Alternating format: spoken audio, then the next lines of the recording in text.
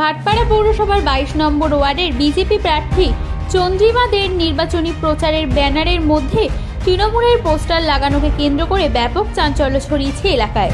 গত পরশুদিন শ্যামনগর স্টেশনের সামনে ভাটপাড়া বাইশ নম্বর ওয়ার্ডে বিজেপি প্রার্থী নির্বাচনীয় ব্যানার লাগায়। গতকাল অর্থাৎ বুধবার বিষয়টি নজর আসার পর তৃণমূলের বিরুদ্ধে অভিযোগ তুলে সরব হয়েছে ওই ওয়ার্ডের বিজেপি প্রার্থী চন্দ্রিমা দে।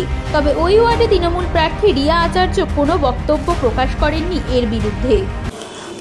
যারা করছে করে যাক। যতদিন চালাবে চালিয়ে যাক আর কি বলব। কি হয়েছে ঘটনাটা? কি? কালকে তার আগের দিন আমি ওখানে ব্যানার লাগানো হয়েছিল যেখানে স্টেশনের একদম সামনে ব্যানার লাগানো হয়েছিল।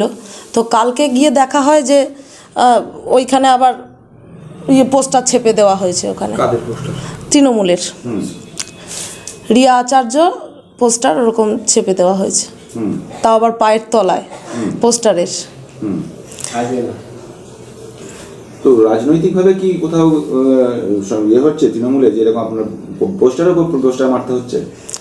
নিশ্চয়ই কোনো কমজোরি আছে ওদের মনে করছে যে কিছু অসুবিধা ওদের মনে হচ্ছে তাই করছে। থানায় জানিয়েছিলেন? না থানা এখনও জানানো হয়নি। মানুষ দেখছে কি হচ্ছে এগুলো? নির্বাচন কমিশনকে কিছু জানিয়েছে? না এখনও জানানো হয়নি কিন্তু জেলা প্রেসিডেন্ট এবং মজদুর ভবনের দিকে জানানো হয়েছে। তো এগুলো তো শুনলাম এগুলো করবেই করছে কর- চারি জায়গায় করছে ব্যাপারগুলো। চন্দ্রিমা দে। চন্দ্রিমাদে